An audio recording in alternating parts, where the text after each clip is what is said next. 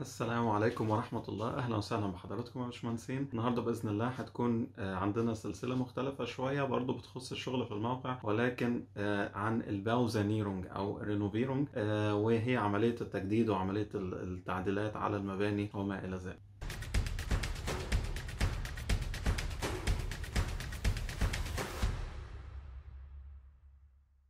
زي ما حضراتكم عارفين كتير جدا هنا من ال- المباني الموجودة في ألمانيا. هي مباني قديمة أغلبها اتعمل يا إما قبل الحرب العالمية الثانية أو يعني في أيام الستينات لما حصلت نهضة في ألمانيا نهضة اقتصادية. هتلاقي في كتير جدا من المباني دي اللي هي حاليا بتبتدي تتورث لأجيال جديدة أو حتى ممكن يكون بيتغير نشاطها بشكل كامل. فالشركات كتير جدا ابتدت إن هي تطلب مهندسين بيقدروا يشتغلوا في عملية ال Bausanierung فاهمين إيه هو ال Bausanierung بيتعمل إزاي؟ وحتى لو كمان شركات مش بتطلب الكلام ده ممكن تلاقي حد Bauherr عادي جدا. الراجل ده شايف إن هو المشروع بتاعه قديم المبنى بتاعه قديم وعايز يعمل له عمليات تعديل في استخدام ال Energie. على أساس هو شايف مثلا إن بيصرف فلوس كتير في موضوع ال- ال Heizung بيصرف فلوس كتير في استخدام المية آه، السخنة. فبالتالي هتلاقي مثلا كتر جدا الشغل في موضوع ال Dämmung كتر جدا الشغل في آه، عملية إن إحنا لأ هنغير ال Heizungskörper ونخليه بشكل إن هو يكون Fußbodenheizung وكل الكلام ده من هذا القبيل. علشان كده آه، فكرت إن أنا أبدأ سلسلة جديدة في عملية ال Bausanierung السلسلة دي أنا مش عارف لسه ممكن تخلص وقت قد إيه ولكن ادينا مع بعض والله المستعان. وطبعا يعني ببقى مشكور جدا لو حد بعت لي تعليق ولفت نظري لحاجة معينة المفروض إن أنا أحاول أجتهد وأقدمها للناس أو أحسنها بالشكل ال- اللي يكون مناسب أكتر لحضراتكم. طيب أنا يعني في المقدمة في ست أو سبع أهداف ليه حضرتك بتعمل أصلا Bausanierung سواء أنت كنت المهندس المشرف على المشروع أو حتى كنت شخص يعني عادي وعايز تعمل آه، ال Sanierung ده لنفسك ممكن تعمل حاجات لنفسك طبعا أو تخلي في حد آه، يجي يعملها لك. طبعا الثقافة دي منتشرة جدا في ألمانيا إنك بتلاقي حد privat Bauherr هو من نفسه كده فكر إن هو يعمل streichen ويدهن البيت كله أو حتى يغير ال Bodenbeläge اللي هي الأرضيات. ما عندوش أي مشكلة في الموضوع ده كثقافة منتشرة وموجودة. طيب الهدف الأول اللي إحنا عايزين نعرف إيه هي العلاقة ما بين ال Kosten لأن دي طبعا رقم واحد إيه هو ال- العلاقة ما بينها وما بين ال Sanierung المطلوب وهل المشروع بتاعي ده يندرج تحت ال Denkmalschutz أو لا ينطبق تحت ال Denkmalschutz اللي هي المشروع ده يعني أثري ولازم الحفاظ عليه أو لازم الحفاظ على شكله وتصميمه ده وأنت مسموح لك تعمل Sanierung في حاجات معينة ولا لأ. المفروض في آه، Zusammenhänge آه، ما بين الثلاث حاجات دول. الهدف الثاني هي العمل الجماعي ال Zusammenarbeit ما بين ال Bauherr ما بين ال Planer اللي هو المهندسين اللي بيشتغلوا في المشروع ال Handwerker العمال اللي بيشتغلوا في المشروع وال Behörden أهم حاجة اللي هي ال Ämter أو ال ال الهيئات اللي أنت لازم تتعامل معاها علشان تاخد موافقات التنفيذ بتاع المشروع ده. الهدف الثالث إزاي إنك أنت تقدر تحدد إذا كان المشروع ده يقدر بثمن أو لا يقدر بثمن لأن دي حاجة مهمة.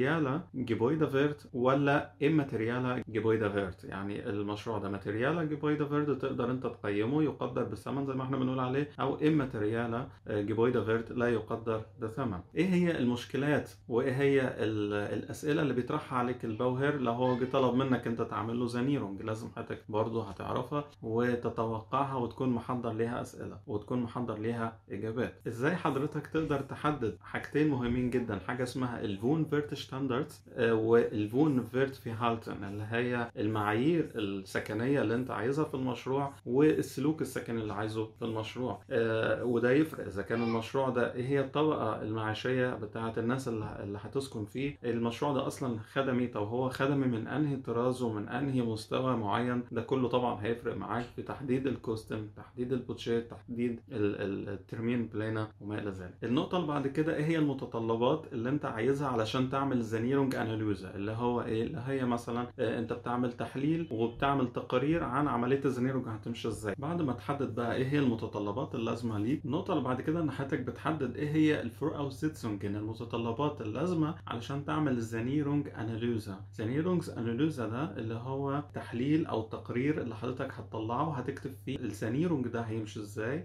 إيه هي المتطلبات اللي أنت عايزها وإيه هي الخامات وإيه هي ال Kosten وإيه هي ال budget فالمتطلبات إنك أنت تعرف مثلا طب طبيعة السكن ده هيكون إزاي؟ الناس مثلا اللي عايزة تسكن دي أو اللي عايز يستخدم المبنى ده هيستخدمه لمدة مثلا قد إيه؟ وبعد كده هيفكر يعمل له Sanierung تاني أو يعمل له تعديلات تانية أو ما إلى ذلك.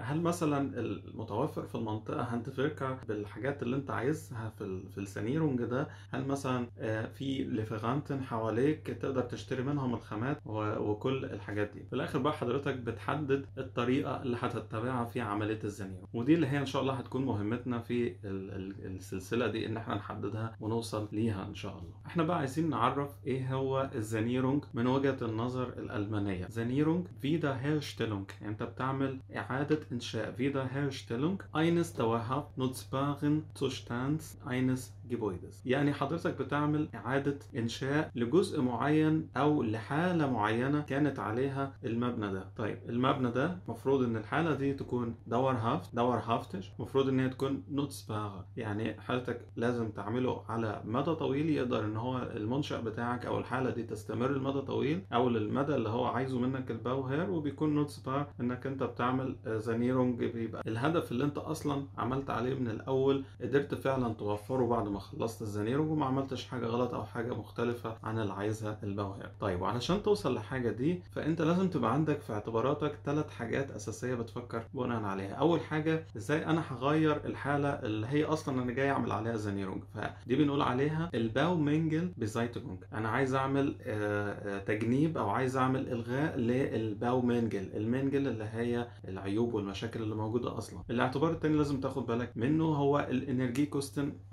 einsparen انك برضو لازم توفر في مصادر الطاقة اللي هتستخدمها سواء وانت بتعمل ال Sanierung أو بعد حتى آه، في عملية استخدام المنشأ نفسه إزاي هتخلي في einsparen لل Energiekosten. ودي أهم حاجة دلوقتي في ألمانيا وقصة ال Umwelt وما إلى ذلك الناس كلها اللي عايشة هنا عارفة ال- القصة دي. الحاجة الثالثة هي القيمة الجمالية للمبنى. Gebäude soll ästhetisch noch einmal wiederhergestellt werden. طيب طبعا ال Sanierung ده ممكن كمان يتعمل لجزء معين ل Bauteil معين. بس يعني أنا مش لازم أكون داخل أعمل Bausanierung للمبنى على بعضه لا أنا ممكن أعمل Bausanierung لجزء واحد بس.